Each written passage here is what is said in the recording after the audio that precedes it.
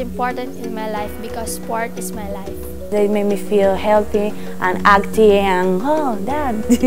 I look at uh, to life with orange glasses and basketball spirit and passion.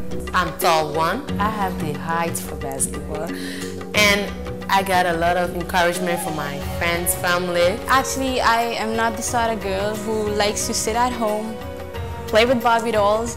So these things actually make me feel comfortable. That's me. Basketball in the Philippines is everywhere.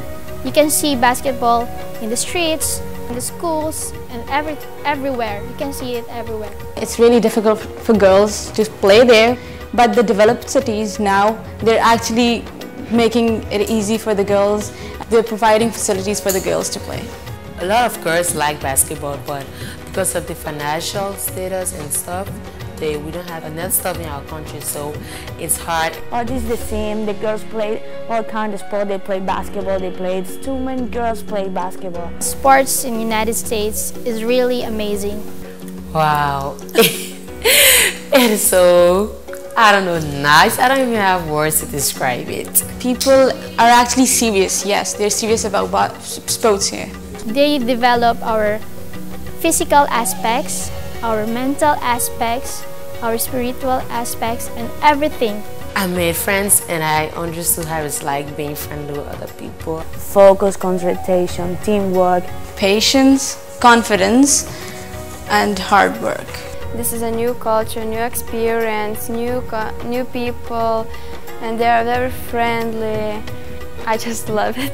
It's a great opportunity to see the other country, the other culture, because it's very different and we can learn something from my, my, my, my country.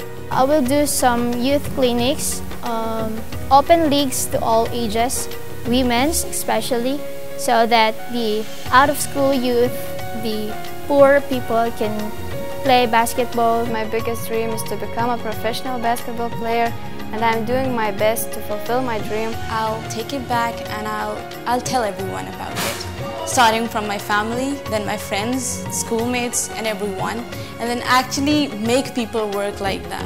So that you can be able to play the game seriously and with all your heart. We are strong women and I'm a strong woman from a better world. Yeah. Yeah. Strong woman, better world. Strong woman, better world. Strong woman, better world. Strong woman, better world. And I'm gonna empower other people to make a better world as a strong woman.